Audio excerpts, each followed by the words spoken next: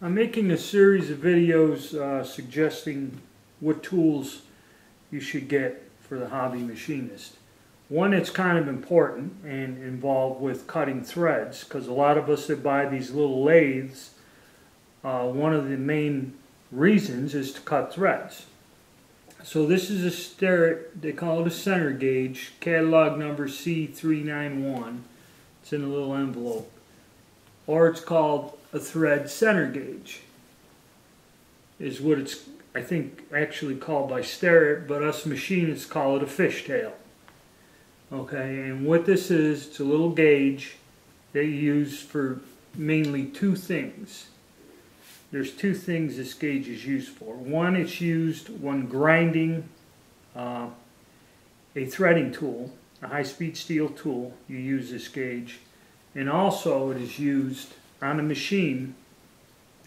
You would take this gauge and say that's your bar stock, and you would place the gauge up against the workpiece like this. And then I have like a little something like a little threading tool. Then you would kind of put this in here like this and you would move your um, because when you grind these by hand or set them in there they're not a set thing and if you're using a rocker arm tool post holder you can swing it anywhere you want and what you would do is place it in that groove and that how that's how you would line your tool up to make sure your tool is more or less square with your workpiece. So in other words, it's not canted one way or the other, that the, the 60 degree uh, point goes in there.